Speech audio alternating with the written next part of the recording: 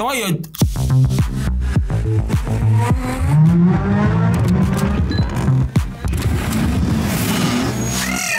Ott, sa tead, sa lööd nagu rajarekord. Ott, vaata, seal tuleb üks väike-väike hüpe.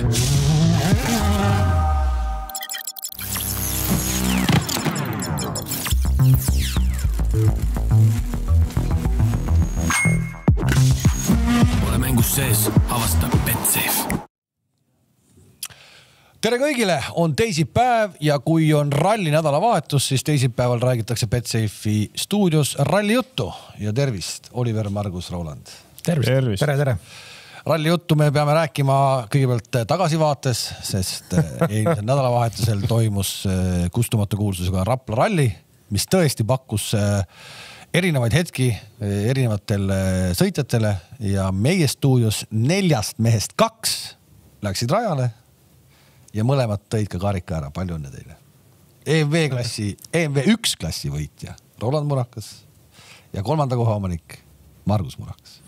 no ütleme nii, et ajaloolise tõe huvides sa pead ikka täpsustama, et meie klassis kolm osavõtjat ainult oligi. kolm tükki jõudis lõpuni. ja kas ma praegu äh, valetasin midagi? ei, sa valetan absoluutselt. võitja ja kolmas. täpselt nii, täpselt nii. hakkame kolmanda koha mehest peale, kas äh, Audi pidas valule vastu? peaaegu, nii, peaaegu natuke jäi puudu, küll viimased katsed tuli sõita poolevedusena, aga eesmärk oli ralli algusest saati, kuna meid, hakkame veel kaugemalt peale oota, meenuta, millal sa viimati said poodiumile? ei mäleta, päriselt ka jah? jaa mm,. mina küll ei mäleta, aga kindlasti Rainisel oli see esimene kord rallis saada karikas. ai nii, see oli eriti tähtis lugu meile, see hambad ristis venitasime ära sa oleks ikka võinud midagi seal natuke ikkagi teha veel seal lõpus, et oleks saanud auto alla, Ärevust, ärevust. alla ka hüpata, sest et tal need, need auto alla minekud on väga kiired tal. ma On, on, on, on. Neid nobedalt läheb Saaremaale, läks hirmus hooga, nii et on, on. kive kraapis. ühesõnaga, mis teil siis oli siis, et ühesõnaga seal väike tehniline häda, aga me saame sellest üle. see oli puhtalt oma viga, nagu ikka.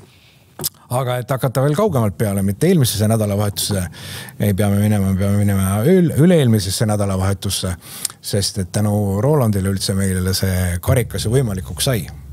kui ta ei oleks Eesti meistrivõistluste klassi oma autoga vahetanud, siis ei oleks me karikat saanud, sest miinimum on kolm osavõtjat klassis ai siis poleks klass arvessegi läinud ehk. siis, ehk siis kaudselt öeldes võiks äh, Ronald küsida Nageli käest oma ütleme, ütleme äh, taastamise eelarvesse vähe no, plekki, see karikas on seda väärt. nüüd me peame ikkagi rääkima kahe sõnaga selle ka ära, selle maailma kõige suurema saladuse, miks äh, EMV kaks klassi üks liidritest äh, R5-ga peale ei tulnud, vaid võeti garaažist välja vana proto. Me peame. mis vana Proto, Proto on väga heas konditsioonis. see pole nagu, see, see pole, see pole nii hea kunagi olnudki. ja kõik, veel kord, küsimus jääb samaks. sa pead, sa pead nagu ütlema, et mis võimaldas Margusel poodiumile jõuda. karikas saada Rainisel, ütle nii. jah, ei, eks äh, ikka tuleb asju ette elus, et äh, et äh, jah, väike õnnetus meil juhtus äh, treeningu käigus, et mis seal ikka. Ühesõnaga, testil nii kui läks- suur saladus ta siin on. teistel läks auto, auto läks vähe ümberi. Läks kahjuks jah, et, et seesama, sama häda, mis meid noh, ütleme talv, talvel nagu alguses, kui me selle autoga sõitma hakkasime, meid nagu seal kimbutas, et tundus, et me saime sellest murest nagu lahti ja, ja viimane talvine sõit Sarma ju saime lõpus seal juba väga hea hoo ja mineku üles, see tunne oli hea, aga, aga kuidagi kuidagi jah, et eks R5 on nagu noh, hästi selline täpne ja, ja, ja seadistumisvõimalusi on palju ja iga muudatus muudab palju ja, ja, ja et, et äh, tahab sihukest võib-olla hästi-hästi nagu pi- pidevat sõitmist, professionaalset lähenemist, et, et, et ühesõnaga sellises väga lihtsas kohas lihtsalt äh, auto taguots läks nagu alt ära ja. nüüd läks natuke poliitikaks, ütleks. Väga selliseks ümmarguseks keerutamiseks. Mm -hmm. aga Margusele kiire Google ütleb, et kaks tuhat üksteist oli kolmas Mitsubishi'ga. ossa juudas. vot nii, vot nii. Ma räägin- ma- kus on mehel kannatus, sa kujutad ette? istu jõe ääres ja oota, kuni vaenlase laip mööda ujub. ja ujus, Raplas ujus. sealt ta tuli. no vot, vot. kaks tuhat üksteist ja kaks tuhat kakskümmend kaks. No, oodata. eks mõned aastad on vähe lõdvemalt ka võetud. ma saan aru, aga ikkagi. fakt iseenesest. fakt iseenesest ja Rapla iseenesest ma käisin raja ääres ka, käisin äh, linnakatset reedel vaatamas. väga palju oli reedel pealtvaatajaid, et äh, ma arvan, kohalikul etapil tihtipeale ma arvan, sihukest numbrit ikka kokku ei saa. ja ju Rapla kaugel pole, neli katset. ja see oli väga okeilt, väga okeilt see linnakatse minu arust need kohad, kus mina sattusin vaatama, olid väga nagu vaadatavad ka veel väga-väga huvitav oli seal, et nii aedade lähedalt. Kalev, aga sinu mõistes ma tegin ju siis superralli, ainukesed kohad, kus ma kiiresti sõitsin, oli linnakatse ju. sa käisid ainult linnakatset ai vaatamas. jaa, see nii ja, ja, ja oligi. ühe mehe vaates olin ma ikka Ei. tead hooga panija. aga kas minu arust sa kaotasid, need katsetad küll Haapsalonil kaotasid ju? linnakatsel ei ka ei kaotanud, kindel või? seal oli Kolmas teine? teine jah. aa okei, okei, võib-olla nii jah.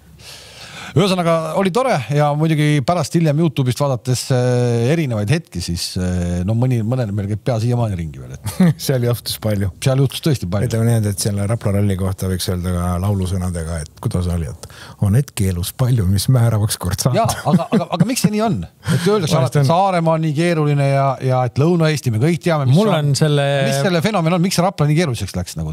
see vihm, mis tuli või see muutis või? ei see nagunii, ega, ega iga ralli on ju spetsiifiline, aga, aga mul on selle kevadise esimese sõidu kohta alati nagu oma teooria, et vaata, siis on nagu talvel on võib-olla käsi soojaks saadud või kes pole talvel sõitnud, onju. isu on ka suureks siis isu on suur, paus on olnud vahel, kevadine värk, kõik on tahtmist täis, autod on tead äh, veel rebuild itud, tehtud, edasi arendatud, et nüüd on vaja hakata panema. ja noh, siis, siis natukene pannakse ka. jumalast õige, et Ronaldil on see, vanasti oli Tallinna ralli või Jah. Vana-Rooma ralli, mis oli esimene hooaja kruusaralli, see täitis sedasama kohta, et siin ikka kohati Nii-öelda- katust kulus rohkem kui kummi. no just, ühesõnaga, et eh, oksad tõmmatakse korralikult kokku seal. ja just ja noh, aga Rapla rajavalik oli ka hästi tegelikult huvitav, et väga palju oli asfaldi osa, mis tegi selle sõidu põnevaks ja katsed olid minu arust väga hästi paika pandud ja sellised väljakutsuvad. Olid keerulised jah? ainult, kui ma läksin reede õhtul koju, siis poiss tahtis vaadata veel eh, seal esimesel päeval kohe oli ju see hirmus laks on ju, siis tahtis seda üle vaadata, seda siis tol hetkel veel Youtube'is ei olnud, olid eelmise aasta Rapla ralli, üleüldse üle-eelmise aasta videosid hakkasid vaatama. no seal oli märgatav vahe, puud olid ilusti lehtes inimesed olid lühikestes pükstes ma ise parajasti just sall kaelas jõin teed teleka ees, et saaks natukenegi sooja sisse, uskumatu. nii ta oli, nii ta oli, nii ta oli. ei tea, kus see suvi on jäänud. ei tea, kus ta jäänud on, aga vähemalt Portugalis meile pakutakse suve ja on aeg sinna nüüd öö, oma öö, pilgud sättida kui me oleme kogu aeg rääkinud, et kõik, kõik on uus sellel aastal öö, WRC sarjas, siis nüüd me näeme esimest korda neid autosid reaalselt kruusa peal. Ja mõni ootab sellest väga palju. ja ei, no ütleme, ega, ega ma arvan, et siin on nagu seesama mõte, mis me just lõpetasime, et äh, kevadine värk ja kõigil, kõigil on vaja kuhugi poole tormama hakata, et, et ega mulle tundub, et see Portugal on ka veits, veits sedamoodi, et äh, esiteks see nimekiri, kõik, kes seal koos on, on ju. kruusa peal pole veel sõidetud nende autodega kes kui palju testinud, mida teinud, kuidas äh, nüüd see autode arendus, siis noh, me oleme näinud ju asfaltil ja lumel, kuidas see on nagu õnnestunud. aga kruusa peal ei ole, et, et äh, ma arvan, siin neid äh, tõestamisvajadusega äh, mehikesi on päris palju. jah No ja- see Covidi reegel vist selles mõttes tegi päris keeruliseks selle olukorra, et iga sõitja saab üks päev testida ja, ja kui ma nüüd ei eksi, siis tegelikult vist äkki Evans ütles, et ta on kaks korda testinud see aasta. Ott vist on üldse ühe korra testinud kruusal. et seal eh, tabeli liider oli vist Gus Greensmith, kes ütles, et ta on äkki kokku viis korda saanud kruusal sõita. ja kas ütles ka ju välja, et ta läheb poodiumit püüdma. just, et tegelikult on ikkagi väga nukker ja ka Ogier ütles, et äh, Ogier on vist kaks korda ja Lööb on ka ainult ühe korra sõitnud. no lööbil ei ole vaja. Selles mõttes.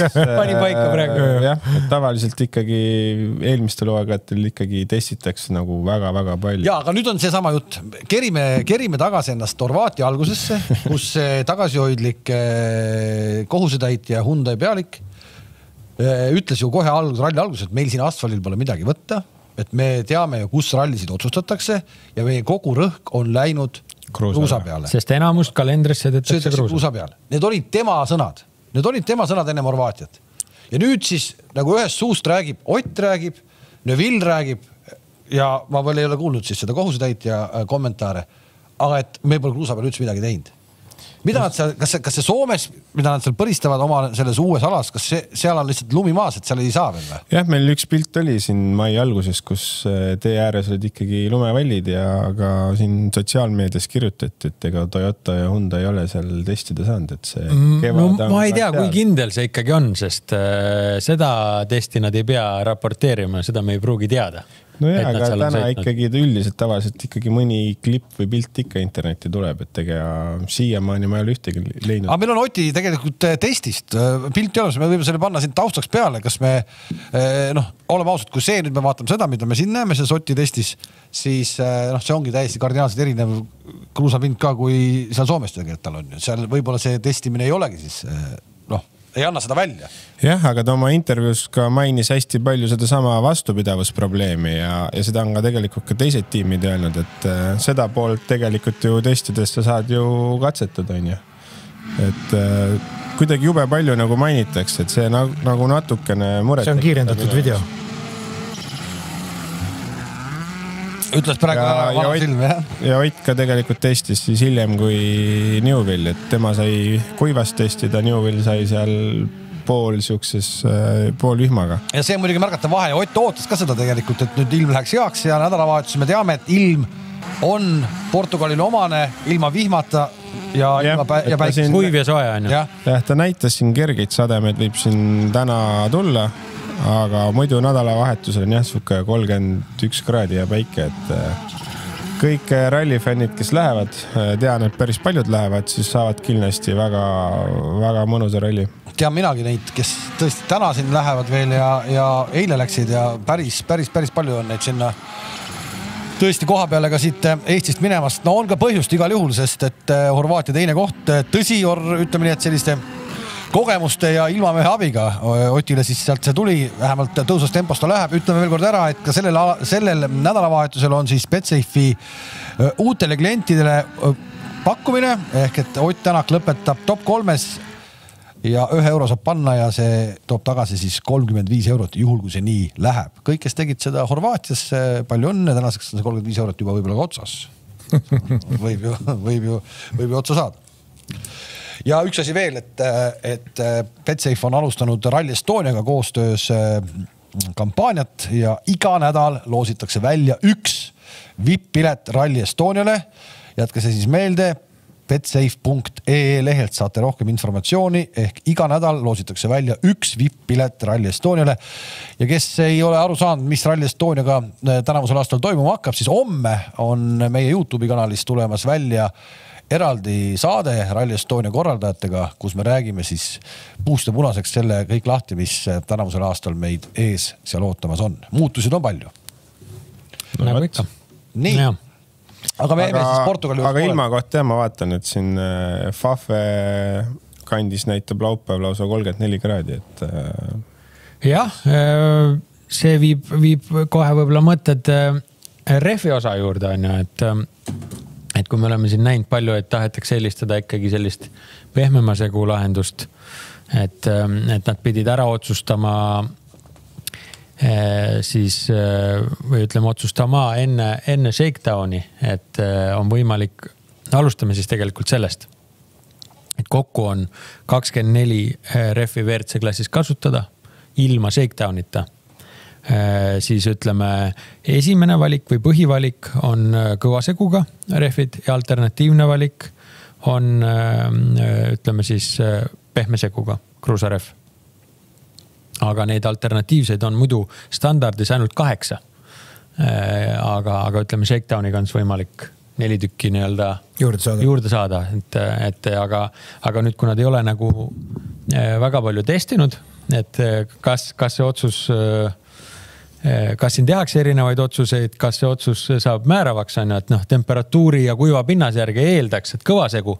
aga me oleme näinud ennegi neid olukordi, kus äh, lihtsalt ütleme, et see äh, pehme segu kulub küll küll kiiremini, aga ta peab ka oluliselt paremini ja võimaldab suurema hooga sõita, et, et seda on nüüd siin raske ennustada, et kas seda pehmet siis läheb käiku ja kui läheb, siis kui palju on.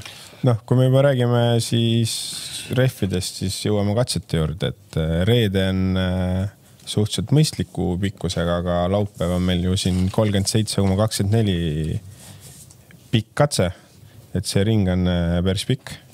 no laupäeval ei ole varianti et äh, läheb ta küll kasutusse, et see rehv, kui selline kuumus ka on, siis sulab alt ära see pehme segu seal. sada kakskümmend neli koma nelikümmend üheksa, siis esimesel päeval on ringi pikkus, teisel päeval sada kuuskümmend neli koma üheksakümmend kaheksa, ühe päevaga sada kuuskümmend neli koma üheksakümmend kaheksa kilomeetrit. ja nüüd me näeme ka tegelikult seda kruusarehvi siis ju ka suures plaanis esimest korda. no meenutame jah, muidugi auto mit- on raskem ja, ja ja need muud- selles konditsioonis küll. keskmine kiirus tuleb aeglasem kahtlemata, kui seda oli näiteks noh, Rootsis on ju, kus me saame noh oh, no, ikka väga, ikka väga, väga palju aeglasem, eks. Portugal on ikkagi sihuke aeglase keskmisega. nii, et noh, täiesti teise iseloomuga. üheksakümmend kaks koma seitse oli rallivõit ja keskmine Eelmine eelmine aasta Evansil. Noh, nüüd tekib küsimus siin selle üldse selle hübriidi teemaga ka, et milleks seda vaja seal on jah, me oli seal, lugesime või pärast tuli välja, et Horvaatias ju paljud lükkasid välja, et selle vihma ja hardiga öeldi, et ei, et seda Unustage ära. seda hübriidi küll ei ole vaja, aga samas ma arvan siin Portugalis, kui ta toimib, siis äh, võiks tast kindlasti kasu olla. ta aeglasel rallil, sellest on ikkagi efekti just ütleme sihukesest teravast kurvist välja ja sul on kiirendamisel. ju mägedes ka liivane pind üles mäge, et siis, kui sul on ikkagi seal väike power taga kaasas, et siis see kindlasti. ei no seda Montes, on üheksakümmend kaks noh. Montes selgelt öeldi, et ega serpentiinist vastumäge minna, kui sul on ikka viissada jõudu, see on ikka viissada jõudu. selles mõttes on ta kindlasti ka huvitav, et kui sa vaatasid neid katseid on ju, nüüd on äh, enam-vähem vist me saame öelda identsed eelmise aastaga, me saame mingi- nagu, me saame nagu järjest võrrelda kogu aeg seda noh, kahjuks nad on küll mõnisada meetrit äh, siia-sinna, kas lühem või pikem, aga jah, ütleme nii, et suures pildis äh, samad. reke vaates eh, sõitjatele võib-olla eh, veidi lihtsamad päevad, et eh, saad rohkem kontrollida ja ei ja pea võtad nii, oma nii palju eelmise aasta legendi välja ja nii ta läheb, aga aga mis seal hübriididesse puutub, siis ju mm, me saame nüüd nägema, kuidas siis hübriidsüsteemis, hübriidsüsteemid kolmekümnese kummale temperatuuri vastu. peavad, sest testides Kala. oleme palju näinud, et nad on proovinud ju, et võtavad selle külje, külgmise muna või, või jahutuse sealt nii-öelda ära, mis on Jah. seal taga, tagatiiva peal püsti, et eks nad, ma arvan, selle eesmärgiga seda ongi testinud, et kuidas ta. jah, seal on väidetavalt seesama ikkagi see aero mõju lõppkiirusele ja, ja siis see, et kuidas ta see temperatuur ja kuidas see jahutus on, et nii Hyundai kui Toyota mõlemad siis katsetasid ja Hyundai on vahetanud siis väidetavalt Portugaliks oma peegleid natuke muutnud, et on tõstnud. seda peegli juttu me rääkisime juba enne Horvaatiat ju. see oli ju midagi, midagi liikus. Äh, Toyota tegi aa, ja Toyota nüüd tegi, tegi Fordi järgi. tegi Fordi järgi. jah, aga Hyundai'l on natuke teistsugune lahendus, et tal oli ukse keskel, nüüd on nad tõstnud sinna A-piileri juurde. sel samal põhjusel, et nende hübriidi jahutus on siis seal tagaklaasi ju- juures. et see peegel takistaks see vähem õhuvoolu. peegel jah, ei takista, et takistaks vähem, et äh, vähe teistsugune lahendus kui, kui Fordil ja Toyotal. mis iseenesest on nat- natuke huvitavaks et kuidas nad selleni ei jõua. autot ehitades. just autot ehitades, kuidas kuidas see tuleb praegu nüüd. aga kõige, kõige peale ei tulegi. näiteks üks väike sihuke täiendus veel selles hübriidi vaates, et kui meil muidu oli kaks tulukest, siis nüüd on FIA oma eh, spordiregulatsioone vastavalt muutunud, et peab olema kolm. nähtavat tulukest Jah. ja soovitavad siis äh, oota, oota, mismoodi kolm? ennem oli ka ju. esiklaas ja vasak, vasak äh, tagumine, tagaklaasi juures oli. jah, nüüd enne oli kaks, nüüd on, nüüd on äh, Kolm. kolm, siin on küll muidugi äh, blue warning lights, aga minu mäletamist mööda olid need ikkagi Rohelised. rohelised jah. no eks see võib olla selle tuld veel Solbergi, isegi siin bülleteniga mõni päev tagasi. Selline täiendus, ühesõnaga ei- tehnilises vaates äh, ei midagi erilist, Ja, ja. sõidukiirust ei mõjuta, aga, aga kui tekib küsimusi, miks üks tuluke juures, siis ja vist äh, ega meil ju sellel aastal hübriididega nii pikka rallit katsete mõttes ei ole ju sõidetud kolmsada, mis meil oli see kolmkümmend kolm või? Äh, jep, kolmsada kolmkümmend kaheksa. kolmsada kolmkümmend kaheksa Jah. jah, et see tuleb tõesti nende jaoks kõva ja sõitjate ütleme, jaoks. et, et see laupäev on ikkagi selles mõttes päris korralik päev, et kakskümmend üks koma viis, kakskümmend kaks ja kolmkümmend seitse koma. ei noh, sada kuuskümmend neli katseid et. see on ikka nagu, See on päris ka vanade WRC autodega oleks see päris korralik päev, et selles mõttes loodame, et ikka püsivad koos ja need, ei olnud, katsed on jälle nii, et see nagu küpsetab sind ikkagi, sest et see hakkab, päev hakkab väga vara peale ja see lõpeb väga hilja. Tuleb jah, reedel päev. ei ole ka servist laupäev õnneks. no võime selle laupäevase siis võtta, see laupäev kõige rajum päev. esimene mees kinnisest pargist välja kohaliku aja järgi viis nelikümmend viis. ja kinnisse parki jõuab ta tagasi. noh, kakskümmend kaks null pool kaheksa, kaheksa. aa niimoodi, aga kohaliku järgi, okei okay, jah. ja ega, ja ega Ja ta ja viis- ega ta järgmine päev, pühapäeva hommikul väga Jälle palju viis, nelikümmend väga viis. palju varem, jah, on nii sama aeg või? jälle viis. viis nelikümmend viis jah. jah, ja see viis nelikümmend viis on see, et selleks hetkeks sul peab olema kombe seljas ja oled sa seal aia ja, ja see ei ole ärkamise aeg Et, see sa on, sa oled, siis oled juba rivistel. see on sõitmise aeg, ja see on sõitmise aeg. sa ärkad enne viite kindlasti, et. auto käivitamise aeg, täpne olla. et kui me neid õhtusi videosid näeme ja saame aru, et inimesed on väsinud, siis äh, põhjusega. no meenub, meenub, mulle meenub veel kord, Egon Kaur samamoodi Portugal, oli see eelmine aasta. Oli täit- oli., oli ta täitsa tagurpidi näoga ju seal. no aga ma isegi Horvaatias vaatasin ka seda viimast, ma ei mäleta, mis päev see oli, siis näha oli, et kõik mehed on ikkagi vaimselt nii väsinud, et. ei no muidugi pikad päevad, aga see ongi see, et ega, ega sa siis ju selle välisel ajal sul on veel ju ports tegevusi, mis sa pead no, on ju tegema, on ju.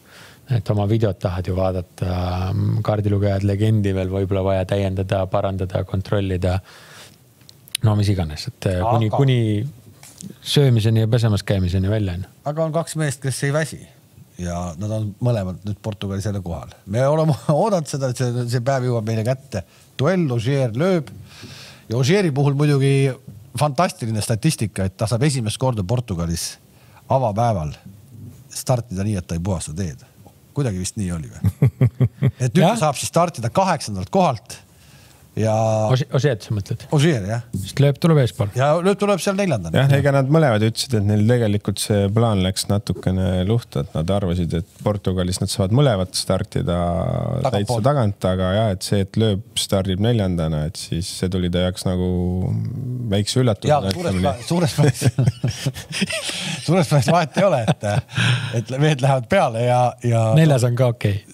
On väga okei okay. ja Ogier siis viimati võitis Portugalis kaks tuhat seitseteist, aga meenutame, et siis on alati olnud see teepuhastaja roll on see.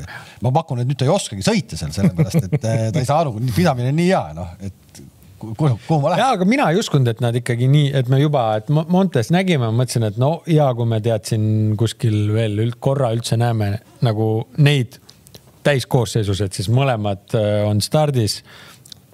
Aga et see juba Portugalist tuli, see on nagu väga ja, aga positiivne. samas ma arvan, et see on ka loogiline, et esiteks on see juubeliralli, teiseks on esimene kruusaralli ehk siis te- teistel sõitjatel ju Ei ole eelist. eelist. et mida hooaja lõpupoole sa lähed, seda rohkem sa oled teistest äh, maha jäänud. et selles mõttes mina arvasin küll, et kas Portugal või Sardiinia, aga tuli Portugal. ja nende meeste tulek toob loomulikult meile WRC sarja siis ka noh, numbriliselt läheb see suureks, sest et eh, meil on ju nüüd Sordo sõitmas, eks ole. okei okay,, Sordo võtab küll eh, Sol Solbergi koha ära. koha ära, eks, aga meil on veel eh, ralli üks autosid on üksteist. kaksteist. kaksteist, kaksteist jah. noh, ütleme et tehniliselt tegelikult ralli stardis on üks vanem WRC on veel. aga see tuleb ilma prioritita seal taga lõpus, aga, aga ütleme jah, neid, neid, keda me pildis äh, näeme tänapäeva WRC autosid on kaksteist jah, päris kõva ja number. M-spordil on viis autot väljas, et see on nagu ka päris kõva saavutus. jaksavad ikka teha küll neid. et erameeskonnaga ikkagi viis autot välja panna, siis Hyundai'l ma ei tea, kui palju neid autosid täna valmis on, aga neil oli ju tükk aega mure, et pole reaalselt isegi testiautot, et selles mõttes müts maha jälle. Margus, kõik äh, hästi paljud pärast äh, Monte, kui Lööb ja Ogier seal kahekesi möllasid ja hullasid, siis äh, kõigi jutt oli umbes selline, et no ega nad, ega nad mujal seda ei saa, et seda oma kodus nad saavadki niimoodi teha, nagu nad tegid, mujal nad seda ei saa. kaksikvõitluse mõtled? no ütleme nii jah ja.. No üleolek ikka, üleolek oli seal. mina, mina peaks äh, enam-vähem samasuguseks hullamiseks nende meeste poolt, kui üks neist kahest oleks pühapäeval poodiumil. kui võimatu see on? Ei ole võimatu. kahest üks või, see pole üldse üks. võimatu. see on, ma see on pigem see on tõenäoline. pigem jah, väga ei, aga, tõenäoline. aga, aga oli ju selline, sellist juttu oli nii palju pärast seda Montet, et noh, mujal nad ju ei saa. ei, aga noh, niimoodi vaata, seal on vahe ka sees, et noh, Montes nad olid ikkagi nagu üle teistest onju, seal nad domineerisid ja olid kaks nagu, et noh, sellist olukorda ikkagi ilmselt me nagu mujal Ega ei saa tõesti näha aga see, et nüüd kumbki neist poodiumil on, see, see on isegi tõenäoline. No seda te kuulete siis, kui me hakkame neid asju arutama siin. ma just tahtsin sinna jõuda. kuigi Ogier oli ka selline, et äh, ühes intervjuus ütles, et äh, ma ikka ei ole palju sõitnud ja ma ei ole testida saanud. aga lähme No selle ma, ma, ära- ma olen, ma olen kõik need intervjuud läbi enam-vähem lugenud. aga siis teises oli Noh. see, et ega ma kaotama ei lähe, ma ikka lähen võitma onju. No kuule, siuksed vanad, kui nemad juba välja tulevad, nad kunagi ei lähe. Öö, Ott äh, me ei ole kruusa peal midagi teinud. Neville äh, võita, meie, meie küll siin ei võida. top viis oli hästi vist top, top viies on, oleks juba väga hea, onju. Latvala räägib Rovanpera kohta, see mees oskab hoida külma pead, ta ei pea võitma, nii edasi, onju. no Evansist ma ei ole väga palju kuulnud. Evans nagu võiks ka midagi nüüd lõpuks saama hakata, ainuke, kes ütles välja, et ta läheb poodiumit ihkama. Greensmit. oli Gus Greensmit. kes muidugi valis nagu väga vale ralli, et sellist nagu no miks, ma ei tea No no,, kui tal sul on- ikkagi, ta on ikkagi kruusal kõige rohkem testinud, nagu sa ütlesid. Võib-olla ta tahab seda eelist No, kohe ära kasutada, aga äh, see sinu Kalev jutu jätkuks, et äh, tundub, et kõik äh, kõvad mehed ongi valinud selle taktika, et, et ütleme, et siit noh, teeme näo, nagu me ei, ei loodaks siit võitu ja, ja et tagasihoidlikult oma, oma sõitu ja nii edasi. tundub, et kõik, kõik öelda, on ühtepidi valinud selle taktika. et Kalev, nende intervjuude lugemine oli raisatud aeg. põhimõtteliselt jah, jah, et et arvata võib. noh, Greensmiti juurde minnes eelmine aasta viies on ju, et kõik me ju arvame, et ta võiks ju siis teha sammukese edasi. ma arvan, et tal kuskil Sardiinias võib-olla natuke lihtsam, et kui sul ikkagi kahte Sebastianit ei ole stardis ja Sordot ja selliseid. aga miks ta ei või neile vastu saada, see on keskmiselt, kesk, madala keskmise kiirusega, seal on kõigil lihtsam aga sõita. lihtsalt ma ei usu, ma arvan, et äh, läheb keeruliseks, aga ega teine mees ju Katsuta, kes ütles, et äh, palju on sõitnud ja on aeg näidata head tulemust, nii et sest tema hooaeg on ikkagi väga sihuke, no paha on olnud, paha on olnud. on tõesti. Sordo tuleb tagasi, Sordo siis, no Sordo tahaks ju ka midagi siit saada no ikka, ja tal on ju kõige parem positsioon stardiks. Esimesel päeval, reedene isegi- päev, pole ju noh, reede on, reede on ka tegelikult kohe raske päev, sada kakskümmend üks kilti. Sordol kõige parem stardipositsioon saja kahekümne üheks kilomeetriks.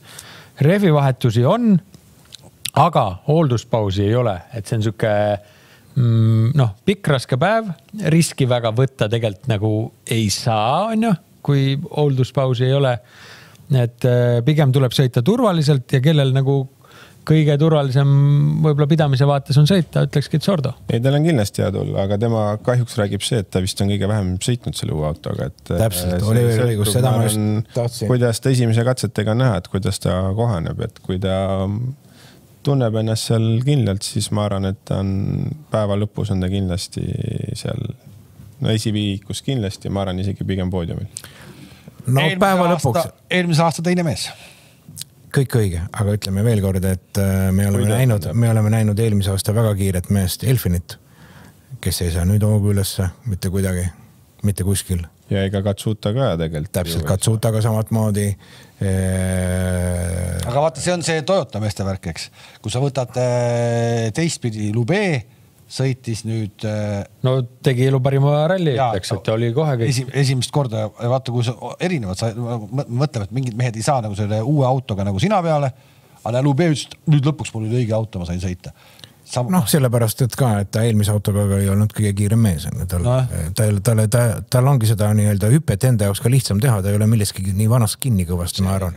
et ähm, see on nagu tema poolt positiivne vaadata ja, ja, ja eks sama, sama on ka võib-olla Formeau ja Greensmitiga, et, et, et, et ega nad ka vanade autodega kõige kiiremad ei olnud ja võib-olla nüüd, kui auto on äge, siis saavad põrutada. noh, Formool no- no. muidugi oli jalge all päris tuline, et äh, ma isegi ei uskunud, et see. ma ei tea, mulle tundus see show rohkem miks see tundus show, mulle tundus ka pigem, et see otsus on tehtud, et ta ei saa. Mina arvasin alguses ka, et mind pigem huvitab see, mis seal nagu kaalukeeleks sai, et ta sai tagasi nagu. ma arvan, et Kas see- Prantsusmaa autospordiliit, kes on, kes see, ei no mida see Ford ei otsusta seal ju midagi ju. ma arvan ka, ei no ma arvan no. selles vaates, ja- mismoodi see Ford seal otsustab, ega For- Ford talle tasuta sõita ei anna ju. ei, ma arvan, et ju mingi toetus on ikka M-spordil ka või Fordil, et eks see on seal pooleks see kaalukoos, ma, ma arvan vähemalt. mina arvan, et see kaalu, sellepärast sai see nii-öelda, oleks järgmine olnud asfaldiralli, siis tal oleks öelnud puhke jalga, sest kõik oma äh, crash'id on pannud asfaldi peale, onju. kuigi nagu asfaltimees võiks öelda. ta ise on asfaldimees, et ta ju viimati tuli lõpuni, vist oli Soome eelmine aasta sügis, et äh, Soomes oli seitsmes, Hispaanias kakskümmend üks, kuueteistkümnes, Monsas oli viiekümne viies. no just, just, pani katuse. Montes pani katuse Rootsis lagunes ära, Horvaatias katus. just, või noh, jah. Ehk siis äh, mulle tundus, et see otsus ongi nüüd korras, et juba ongi poisiga kõik, noh, ma arvan, et juba oli päris palju neid, kes hõõrusid käsi, et siit tuleb nüüd minu võimalus, onju. mina olen Kaleviga samal arvamusel, ma alguses arvasin ka, et lihtsalt jutu sihuke, et hirmutame natuke poissi, aga siis üks hetk ma arvasin ka, et. ei no aga kuulge, kuidas see saab tekkida, kui lepiti kokku hooaeg, lepiti kokku hooaeg, Prantsuse autoliit, M-Sport leppisid kokku hooaja, Formeau sõidab. No, kus me, mis me nüüd siis ja... peale kolme etappi ütleme, et nagu hooaeg sai läbi või? no ma ei tea jah. Chris Meagil lõpetati ka päevapealt ära. no see on natuke karm näide, sinna on Formool veel minna. Ogieril oli aga kehtiv leping. aga palju on, et... palju on minna selles mõttes, no Formoo puhul ärme räägi, palju kasvõi Elvin Evansil on minna, see peab, ta ju peab ka hakkama, ta peab ju hakkama midagi tegema no praegu ikkagi, et Evans punktitabelist üles leida, peab põlvelongu laskma. just täpselt, et noh, et kui, kui pikalt nagu Evansile, noh, me hakkame mingi hetk rääkima ju hooaja keskel järgmise aasta lepingutest. noh miks Evansil võib samamoodi hakata Chris Meagi saatus mingi hetk koitma ju. ja loomulikult. keegi, keegi, keegi ei arvanud ju, et umbes, et noh, et Chris Meagiga, Chris Meag on ikkagi Chris Meag, kuidas ta siis välja lüüakse. põps, tehti otsus ära, löödi välja. Evansi puhul täpselt samamoodi tegelikult, sa pead ikkagi lõpuks, sa alustad hooaega favoriidina ja praegu sa oled kus kohas noh. ehkki okei okay,, sa pole, võib-olla sa ei pane nii hulle pauke kui Formeau, aga punkte sul ikka ei ole noh. No seis on sama, ütleme seis on sama noh. kiirust ka pole, kiirust ka pole, kiirust pole noh jah, ma arvan, eks see Portugal on ta jaoks väga tähtsa, tähtis ralli nii-öelda, et kas ta saab oma enesekindluse ja. ja esimene etapp kruusal ka, et me tegelikult ju ei tea, kuidas ta ennast kruusal tunneb. ma arvan, murde, murdepunkt ikkagi Just. peab olema äh, äh, Evansi äh,, Formeau ja Katsuta jaoks, see ralli. et asfalt talle ei meeldinud, Rootsis tegelikult ju lumel oli oli tempos Evans, et noh, võib-olla Kruus talle sobib paremini, tunneb ennast kindlalt ja Sel,. selline keskmise, aeglase keskmise kiirusega Kruus, sest et siin noh, meie juures ta siin, siin ta ei, ei, ei ole pildis. siin ta ei saa väga hästi no. jah. ehk ta peab paugutama nüüd siin ja Sardiinias ikkagi mingit. noh, ütleme nii, kõik eeldused on tal olemas, et äh, see ralli ikkagi ta võiks. noh, stardikoht ka soosib, pigem, pigem soosib, onju. Portugalis varem kiire olnud ja stardikoht on tal hea no jälle. uus auto, uus ja... auto tema jaoks, see nullib kõik minu jaoks ja see on tegelikult on see, mis sa eelmine kord seal äh, tulid seal Horvaatias sellega välja, et nad ei saagi pihta sellele uuele autole mingid inimesed, noh, mingid sõitjad. no läheb aega natuke, nad ei leia oma seadistust. no aga selleks hetkeks on juba rong läinud ega.... ja ongi, ongi läinud. ega Ogier ka ei olnud Montes kõige rõõmsam, et noh, ta lihtsalt on Ogier, et ta suudab nagu seda taset seal hoida, aga tegelikult tema intervjuudes ta ei olnud ka sugugi nii õnnelik selle autoga, kui, kui ta oleks tahtnud olla aga see on hooaja algus, nii et selles mõttes äh, see on paratamatus. täna on hooaja algus, aga meil on äh, Kalle Romantpera ikkagi noh, suveräänne liider äh, MM-sarjas. me rääkisime juba Horvaatias, et ta ei pea võitma, eks räägi, noh, ta ei pidanud võitma, sõida rahulikult ja edasi, onju. kakskümmend viis pluss viis. kakskümmend viis pluss viis ja see, kuidas ta selle viis sealt veel võttis ära, eks no tegelikult noh. jah, see ei tulnud null komaga no igatepidi, no igatepidi. see, see tuli räigelt, onju no.. et see oli, ma arvan, see asi, mida ei oleks olnud vaja teha mida näiteks ma arvan, Ogier ei oleks teinud, aga see oli siuke. no aga ütle tagantjärgi sellise..., kuidas sa saad nüüd tagantjärgi, siis vana tuli ju nii perfektselt noore välja. poisi selline näitamiskoht, et panen teid kõik selili, et ma seda sisevideot vaatasin ega ta kõige meeldivam ei olnud, aga. ei, ta kõva pingutus, aga no mis aga meie mees on. aga ma arvan ju... seda, et kui me mäletame, lähme veel spetsiifiliseks selle punktikatsega, me mäletame, et ju diagonaalis tulid mõlemad. Otil oli kaks äh, nii-öelda mustriga, seda ei ole õige nimetada vihmarehviks, on mustriga intermeedia no.. et äh, kaks mustriga, kaks pehmet. Kallel kaks mustriga, kaks kõvat ja kui me mäletame seda lõpuosa, kus oli ikkagi asfalt. no see oli kuiv, kuiv ka ikkagi. ja kuiv, et äh, tegelikult selle kahe kõvaga äh, kaks kõva toimisid selle lõpuosas minu arust paremini kui. ja see kiire kuivamine päästis. Äh, päästis, päästis Kalle, et ütleme nii, et lõpptulemus on, kui katset tervikuna vaadata, siis äh, algus oli seal kribine ja muda ja aga lõpp oli väga kuiv, ma arvan, et äh, see rehvi valik äh, soosis natukene Kallet. ja see kõik oli Assani peal, nüüd oleme Portugalis, kus tal tegelikult nagu mingit suurt tulemust äh, WRC sarjas ju kirjas tegelikult veel ei olegi. ehk ta seal on selle WRC kaks sarjas, ta võitis omal ajal seal on ju väiksema autoga kaks tuhat üheksateist, aga, aga päris suure autoga ta seal nagu mingit tulemust saanud väga ei ole. jah, ei ole jah. minu jaoks on. et ega see eelmise aasta, tegelikult see eelmise aasta seis oli üleüldse on ju, kui me võtame Evans, Sordo, Ogier, Katsuta, Greensmith, Formeau oli ju. ja siis Lappi oli seitsmes juba R5-ga onju. et äh, tegelikult nagu üleüldse sihuke imelik, veits imelik seis oli juba ka eelmine aasta. et minu jaoks äh, on Portugal ka Rovampere jaoks sihuke murdepunkt, et kui ta nüüd seal ees suudab ka lõpetada poodiumi peal, et siis on ta. siis on teda raske, siis on teda raske, raske alistada võita, onju. Et esimest korda ta peab nüüd teed puhastama ja kui ta suudab sellest nii-öelda välja tulla, pinge all ei murdud, siis ma arvan, et on väga keeruline teistel nii-öelda siis löögile ja, jah, siis on nagu sihuke sile tee tiitli poole. ja nagu näha, siis ta Horvaatias ütles, et ma ei pea võitma, onju, siis ma ei usu, et ta seal Portugalis ka nagu tagasi hoiab, et ta kindlasti läheb sealt seda maksimumi võtma no tal kahtlemata on täna Ožeeri näol olemas, kes on seal ikkagi kümmekond aastat seda teed puhastanud. no ma usun, et nüüd on küll see noh, seis selline, et Ožeer ikkagi võib talle seal väga rahulikult selgelt ka mingit nõu anda või kui üldse sihukeses olukorras mingit nõu saab anda, saab ikka vist või?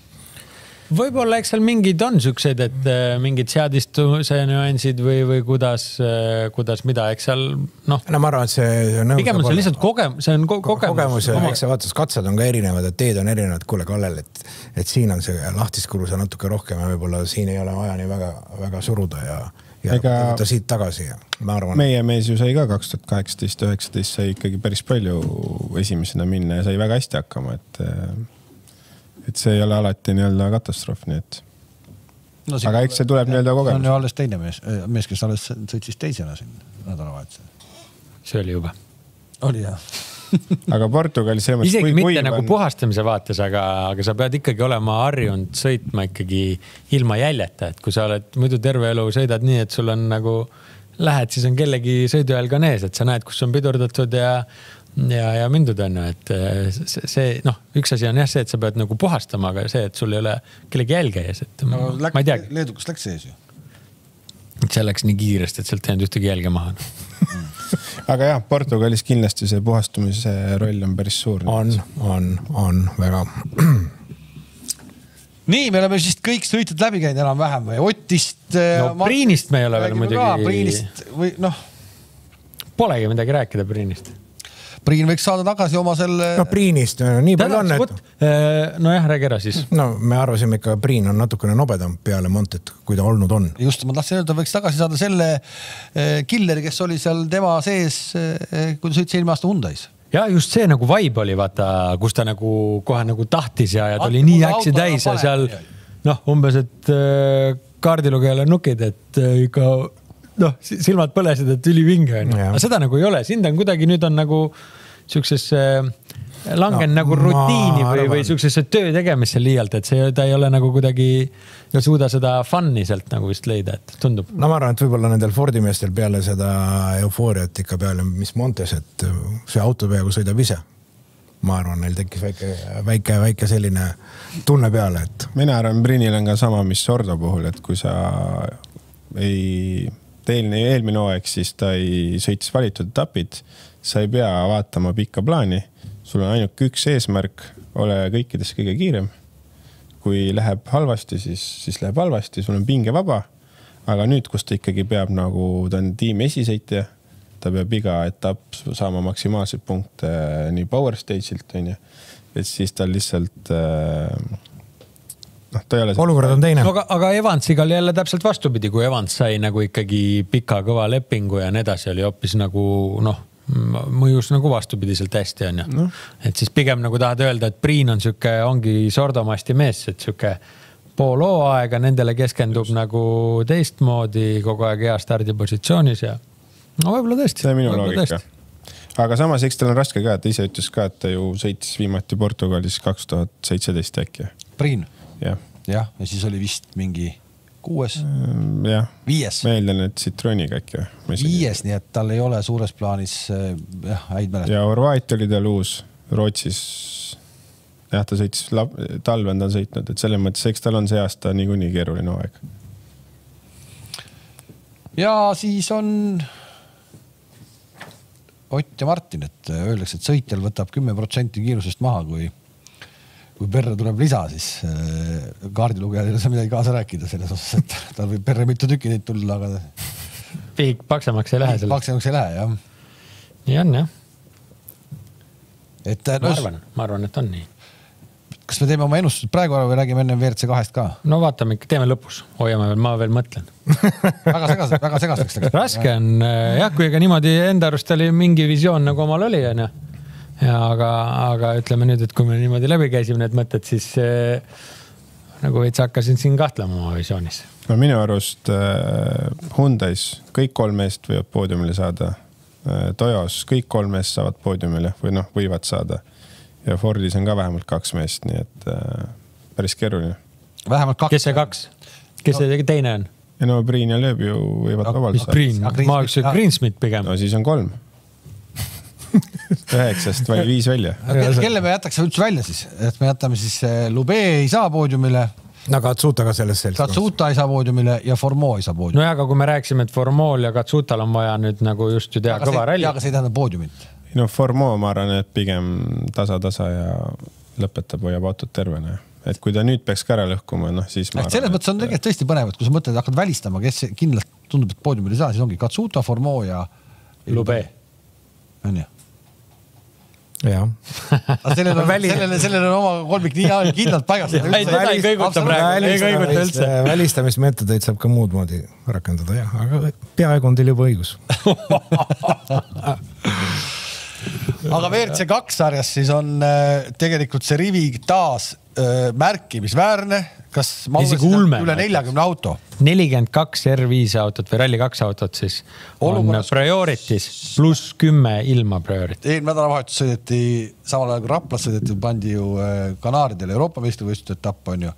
selle võitja Nils Solants on kõpsti kohal siin ka, on ju? ei ole, Jan Solants on. aa oota ei, sama, kas, kas Jan? Jan Solants on jah. Oota, Solants võitis ju selles sama. ja, aga neid on kaks tükki. aga kumb see võitis? Neid on isegi rohkem võitis vist kui kaks. nojah, see on levinud nimi, aga mm, aga, aga mina see ei ole see, kes võitis äh, Euroopa. okei okay,, sorry. aga mina ütleks, et siin listis on kaks Hyundai meest, keda kindlasti välistada ei saa.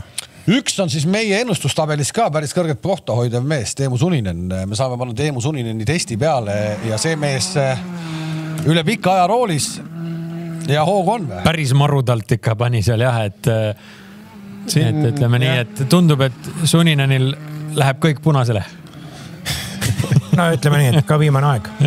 natuke on äh, videos vaadates sihuke tunne, et see Red Gray ehitas seda autot päris kaua, et äh, loodame, et ei saa uuesti ehitada jälle. et kas äh, Margus on kirjandusega video või? Siin ei, ei ole, ole., siin on Sunineni loog peal ikka. siin on õige pea. ja, ja teine Hyundai mees on ju Oliver Solberg, kes teeb nii-öelda ju samm tagasi, siis läheb R5 peale ja tavaliselt ju kõik, kes selle liigutuse teevad, on alati väga kiired ja ma arvan, et ega Solberg äh, läheb ka kindlasti võitu püüdma, et kui ta WRC-ga nii-öelda on alles õpipoiss, tiimipealik on öelnud, et äh, mingit sellist pinget talle peale ei ole pandud, noh siis ma arvan, R5-ga oodatakse ikkagi, et ta näiteks seal top kolm aegas. no aga siin on. sama äh, Suninen tõestas seda ju eelmine aasta ka, kui ta Fordist minema peksti ja võttis, äh, tuli R5-ga, pani Soomes kohe asja kinni ka ja ütles, et võtke välja nojah, Suninen, et selles mõttes on jälle minu arust Solbergil väga raske, väga raske selle kõvade Ervide, Ervi ja kuttide vastu sõita. ja sul on juba psühholoogiliselt, kui sa tuled juba Virtsu pealt, no sa oled juba Virtsu mees ju. nüüd ma tulen nagu R5 meest ja see on täitsa loomulik, et ma peaks nagu neid võitma, et ja kui ei võida, noh siis on nagu mage. siis on mage no igal juhul see saab väga, väga huvitav olema, sest meil on no. ju Andres Mikkelsen, meil on siis Suninen, meil on Solberg, meil on Marko Bulaasja tagasi, meil on Kajatanovitš, Rossell. Ingram, Solans. Ingram, Solans.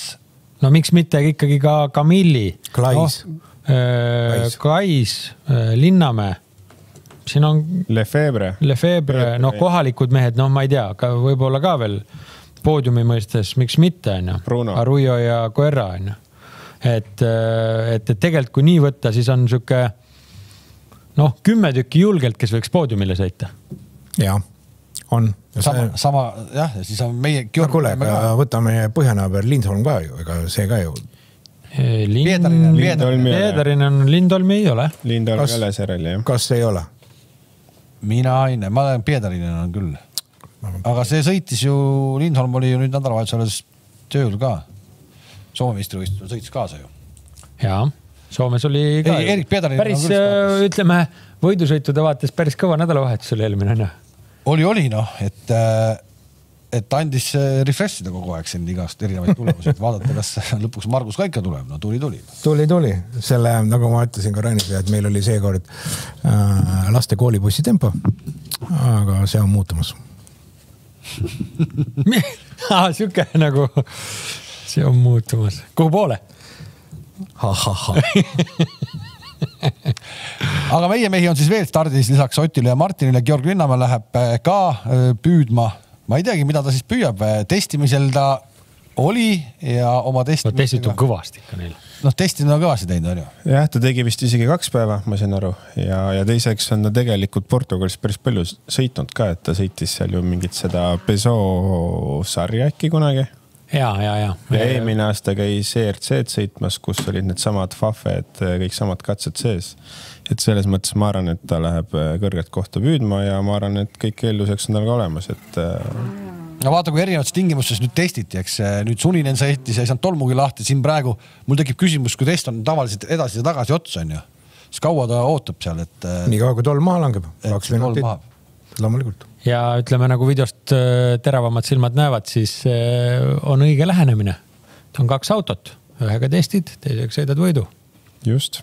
siis ei pea vahepeal protot minema võtma. ei no võib ka. jah, ma arvan, see on ju see vaesus ajab hulluks. on, on nõme asi. kes kurat selle välja mõtled Nõme asi.? kuule, aga siis ju poisid lähevad ka ju Sardiiniasse edasi ju. muidugi, muidugi. no see on kõik, aga no siis peabki autosid kaasas olema nagu mägi, et neid ju kulub. vaguniga kaasa. vaguniga kaasa, täpselt.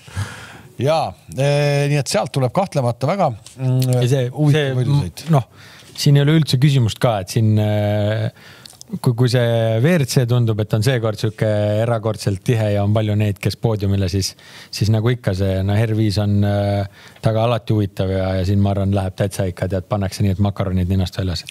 nii on ja, ja ülimalt äh, pettumust valmistav mingis mõttes Horvaatia ralli lõpp siis meie äh, Robert Virvesele saab nüüd äh, proovida siis, kuidas see, kuidas see auto, neli, neliveduauto siis nüüd seal kruusa peal vastu peab, noh, ütleme nii, et selle autoga vist on natukene lihtsam sõita seal taga nendel Portugali teedel kui selle eelmise.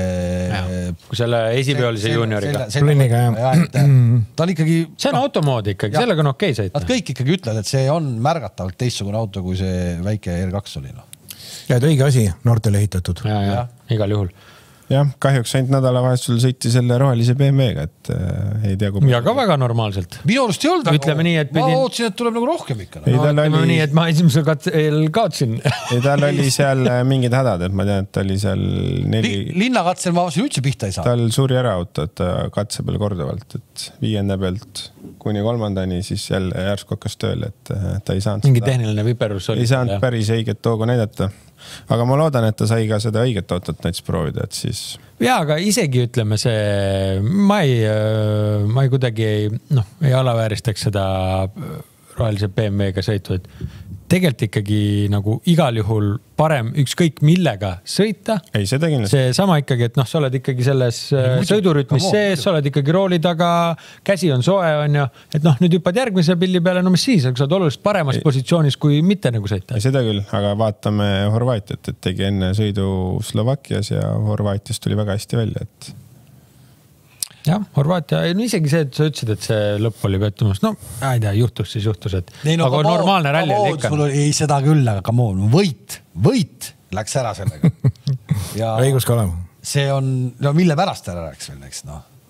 Et selle, see, see on seal. oli lõpuks kaks põhjust isegi. tegelikult oli veel üks põhjus jah, et see ainult see ajatrahv. äh, ajatrahvi nad tahtsid vaidlustada, aga kuna auto suri ära viimasel katsel, siis neil ei olnud põhjust seda vaidlustada, et niikuinii oleksid kukkunud teiseks. jah, aga ei olnud hullu, korralik ralli oli mina sattusin kahe ralli vahepeal, sattusin veel äh, kuidagi meeltesegaduses Oriküla äh, paarisrajale, kus oli enam-vähem samasugune tolm nagu praegu Georg Linnamäe siin meile pakkus. Ja Robert oli seal ka kohal, küll mitte roolis, aga, aga istus kellelgi kõrval, ma ei täpselt ei mäletagi, kellel ta seal, kellel ta seal kõrval oli. ühesõnaga kombe oli seljas ja sport käis. sport käis ka rahvarallil.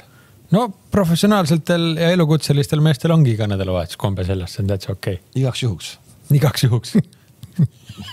vaata, et sa laupäeval kombega ei tule või, või ikkagi tuled kombega jah, aga miks ei? Tegelikult võiks tulla küll kombega, tule, tule. kõik õige. Nonii, kuule, aga vaatame ära siis, ma tuletan veel kord meelde, et betsafe.ee lehel on kõik juhised selleks, et võita endale Rally Estonia vipp-pääse. iga nädal siis ühe korra Betsafe selle välja loosib või ühe vipp-pääsme. kuidas seda saab, saab näha. siin on minu laual üks eh, T-särk, kus on ka selline kaubamärk nagu Ott Tänaku au- autogramm, on peal täitsa, see on peal jah, ja.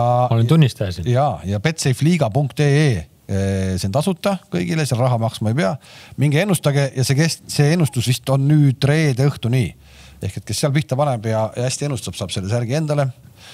ja uue kliendi pakkumine jätkuvalt on kehtiv ka täna, nüüd pool tundi hiljem, üks euro ja võimalik võita kolmkümmend viis tagasi, kui Ott ja Martin lõpetavad Portugalis top kolmes, sellised uudised. Aga no nii, lähme tabeli juurde ka või? Läheme tabeli juurde jah, et äh, ega siis äh, seis on ju meil see, et äh, liider on, mis see seis on siis? liider on äh, Margus jätkuvalt, õnneks me vist, puhtalt, puhtalt kogemuse. õnneks me vist natuke vähendasime seda vahet. jah, selle seis läks meie vaates äh,. ütle, ütle, ütle siis punktid ka või näitame Ma,. Margusel on sada seitseteist punkti, Kalev, sinul on seitsekümmend kolm ja pool ma olen punkti. teine jah. sa oled teine. vaata, kui palju rõõmu väiksest asjast. nii, nii äh,, Oliver, sa oled äh, kolmas, kuuskümmend üheksa ja pool punkti. kuuekümne viie punktiga Roland on neljas ja Teemu viiekümne üheksa punktiga viies. Teemul on üks ralli. no Teemul on. see N miinus üks on juba sees. jah, ja nüüd siis Teemu ei saa ennustada ka seda Portugali, sest meil ei ole selline kokkulepe, ta ise palus, et need sõid, kus ta sõidab, ta siis kaasa ei ennusta, et ta Portugalis on peal, siis ta siis kaasa. aga eks ta siis teeb jälle tasa. ta teeb tasa rahulikult. muidugi. no aga hakkame minema siis, meil on ju ilus tabel ja, ja Margus saab siis alustada, tal oli ju ainukesena valmis ka siin juba vankumatult oma Vaata, vaata, seisukoht. oi-oi, tal on isegi kirjas vist ei, see on Horvaatia omad ju. väga õige, need mehed, kes on kiired, on aasta läbi kiired ja panevad igale asjale. oota, aga Sebastianit polnud seal, ma igaks juhuks tuletan meelde. no põhimõte on see Okei. põhimõte on see, anna tulla. et äh, esimesed viis ralli võidu peale. ralli võit esimesed viis jah?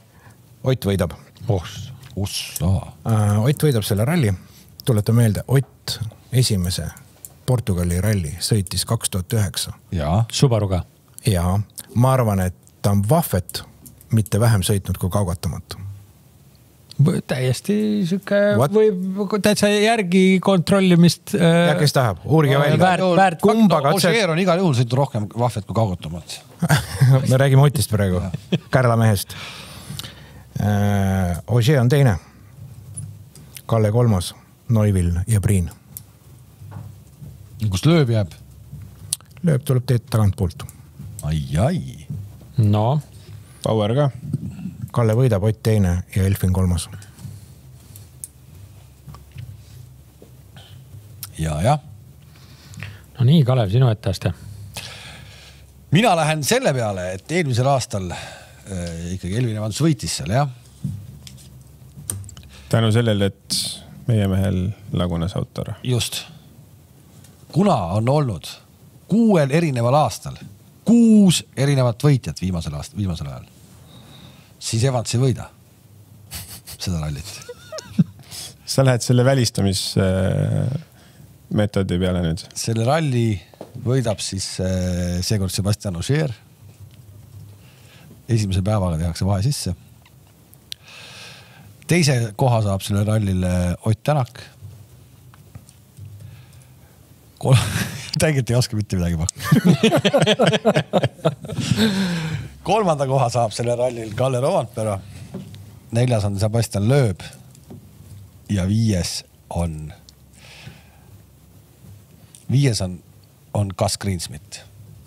ma panen natuke teistmoodi rivi. ja punkti katse äh, võidab Rovanpera mm,. punkti katsel teine on Ott.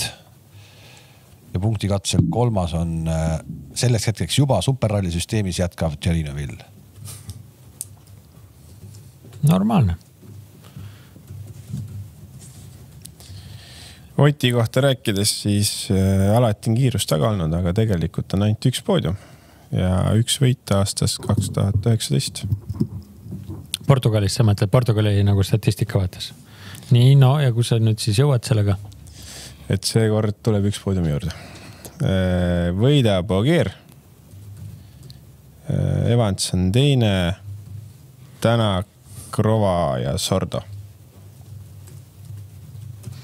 ja Poweri pean ka ütlema, siis on Rova, Newvil, Tänak.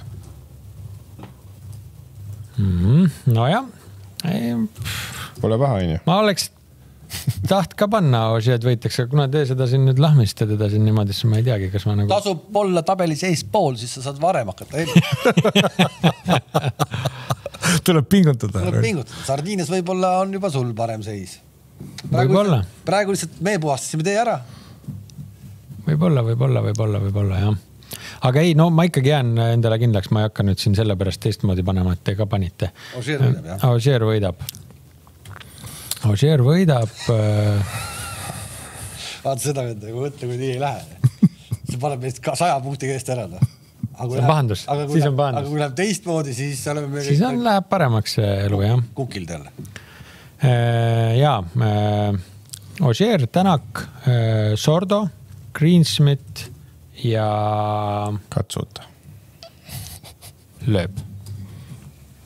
punktikatse võidab Evansit ei pannud keegi mitte kuskile jah? Mina panin Evansi teiseks. aa, sorry, jumal tänatud. mul ikkagi on väike usk temasse, et see murdepunkt. no Ma ma, juba arv,, mina arvasin juba, et see murdepunkt, need murdepunktid olid juba Rootsis ja Horvaatias ja. ja mul oli kolm korda, mul on kolm korda. palju sa sinna punasele paned, kui must tuleb kogu aeg? aga ma panen neljas kord veel. ükskord ta peab tulema. Kõik õige, Oliver. nii, punktikatse jäänud, Rovanpera äh, võidab. Evans äh, superralliga tuleb, aga ikkagi pingutab teiseks ja Neuvill äh, on kolmas. ehk siis kõik, kes, kolm tükki, kes siis ei ole viie hulgas rallil, võtavad punktikatsest, Nonii top kolm. ja me tulet- paigas praegu. tuletame siis meelde, et neljapäeval läheb juba lahti, neljapäeva õhtul, Õhtul. on esimene katse, esimene tuleb äh, siis ühe päeva võrra pikem ralli kui muidu. Ja kuidas meid näha saab, saab ikkagi näha TV3 Sport kahest ja TV6-st ka. TV6-s on seekord tulemas viis kiiruskatset. aga äh, TV3 Sport kaks katab ära siis tegelikult äh, noh, sisuliselt kõik, kogu ralli, välja arvatud siis reede hommikul esimesed neli katset on ilma pildita alates viiendast katsest kuni lõpuni välja.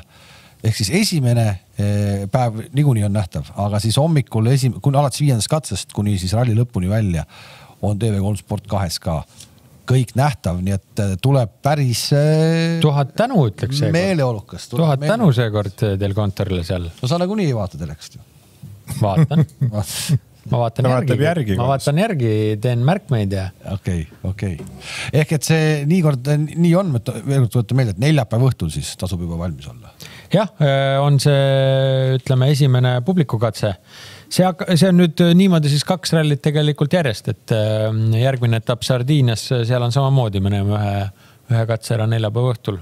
aga see on ju eelmiste, eelmine aasta oli täpselt samuti. ja, Ja see aasta- ta on küll lühikene, see Coimbra kaks koma kaheksakümmend kaks, aga, aga sellegipoolest ma arvan juba, juba võib-olla mingid sibinad-säbinad äh, seal saame. ma loodan, et telepilditootjad on äh, tänaseks äh, mingid korrektuurid teinud, sest mäletame, eelmine aasta me nägime seal Coimbrast ainult ju ühte kurvi.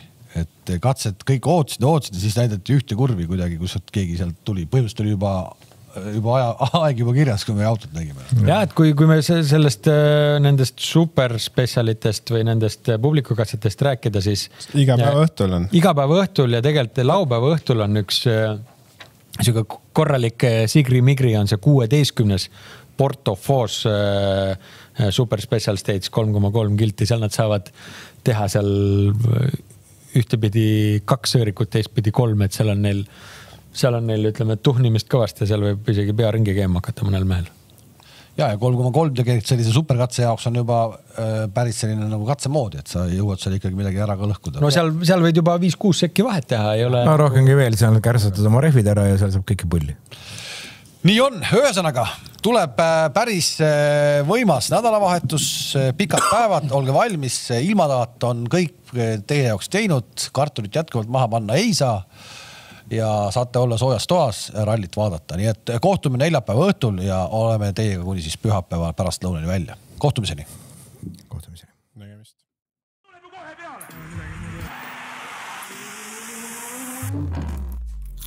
Davai, Ott.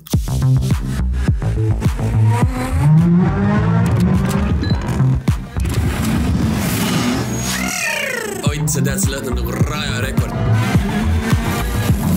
Ott, vaata, seal tuleb üks väike-väike hüpe.